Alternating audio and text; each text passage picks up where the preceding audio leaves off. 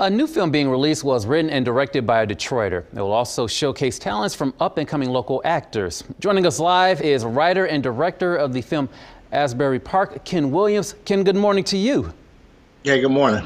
Yes, sir. So I took a look at the plot of your film. Uh, it's really touching on modern day topics and issues.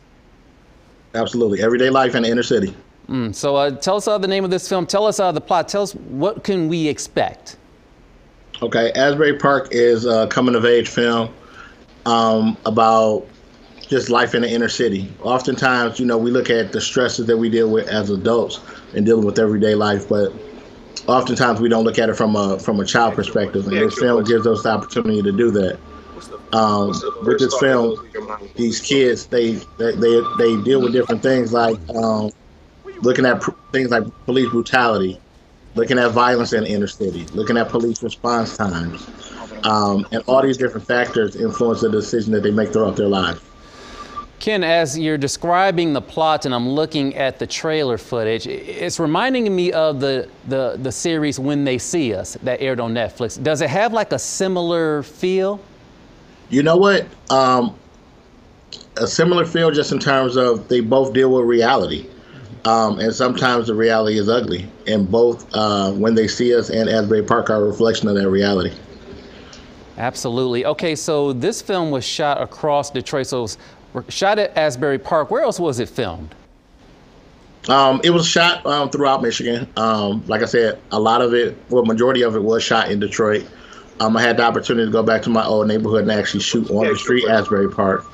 Um, but we we were, you know, Jackson shot some scenes in Jackson Prison, things up north. You know, we were all over the place, Detroit.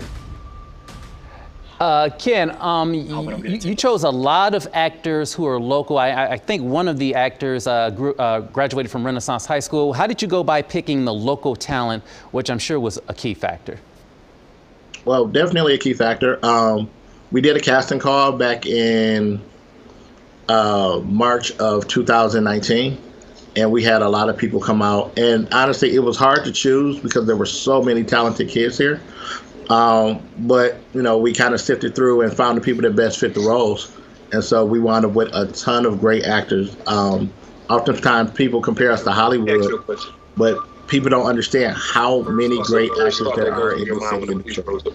And hopefully, people, you know, people why we get the opportunity to see that. That's very true. And you said we're going to see this film. We're going to see. We're going to look at these issues from a child's point of view. What age range are we talking about for the uh, actors in the film?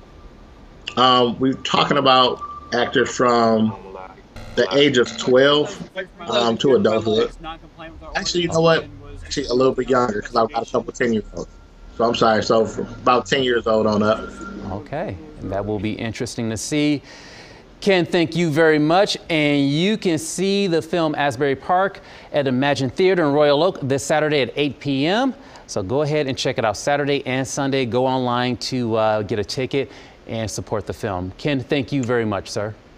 And actually, just before you go, yeah. our Royal Oak um, screening has sold out. Oh. Um, so, so people will need to view it um, online. They can actually go to abpthemovie.com and get the screening information there. All right, good to know. And thank you for giving us that update. I look forward to checking it out. Have a good weekend, Ken. To you. Take care.